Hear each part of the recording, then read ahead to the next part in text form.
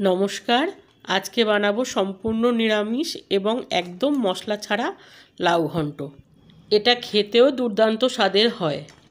এর জন্য একদম সরু সরু করে লাউ কুচিয়ে নিয়েছি। গ্যাসে একটা কড়াই বসিয়ে দিলাম। কড়াই গরম হয়ে গেছে, সর্ষের তেল দিয়ে দিলাম। তেল গরম হয়ে গেছে, গ্যাসটাকে সিম করে দিলাম। একদম ছোট ছোট কলাই ডালের বড়ি নিয়েছি। এটাকে লাল লাল করে ভেজে নেব।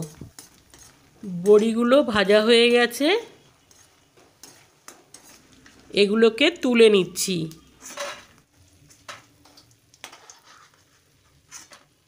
এই বড়ি ভাজার তেলেই কালো জিরে ফোড়ন দিয়ে দিলাম। কালো জিরে দেওয়ার সাথে সাথেই লাউ দিয়ে দিলাম। পরিমাণ মতো লবণ দিয়ে দিলাম। ভালো করে নাড়াচাড়া করে নিচ্ছি।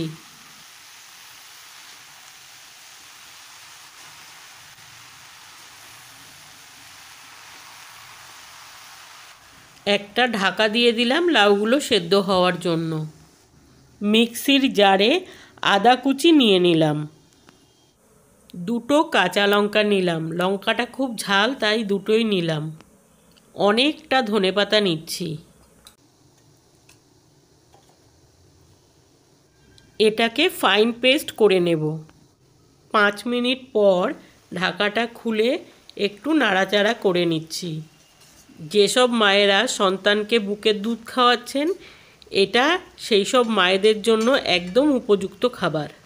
আবার এটাকে ঢেকে দিলাম। দশ মিনিট পর ঢাকাটা খুলে একটু নেড়ে চেড়ে নিচ্ছি। লাউ সেদ্ধ হয়ে গেছে।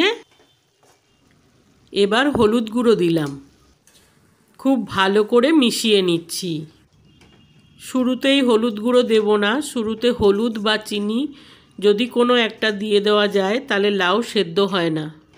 এখন ধনে পাতা আদা আর কাঁচা লঙ্কার যে পেস্ট করেছিলাম সেটা দিয়ে দিলাম। পরিমাণ মতো চিনি দিয়ে দিলাম। ভালো করে মিশিয়ে নিচ্ছি। চিনি আর হলুদ সবসময় লাউ সেদ্ধ হওয়ার পরে দেবেন। খুব ভালো করে মেশানো হয়ে গেছে। ভেজে রাখা বড়িগুলো দিয়ে দিলাম। বড়িগুলো লাউয়ের সাথে খুব ভালো করে মিশিয়ে দিচ্ছি। ভালো করে মেশানো হয়ে গেছে, গ্যাস অফ করে দিয়ে ঢেকে দিলাম। দশ মিনিট স্ট্যান্ডিং টাইম দেব। দশ মিনিট হয়ে গেছে, এবার পরিবেশন করছি।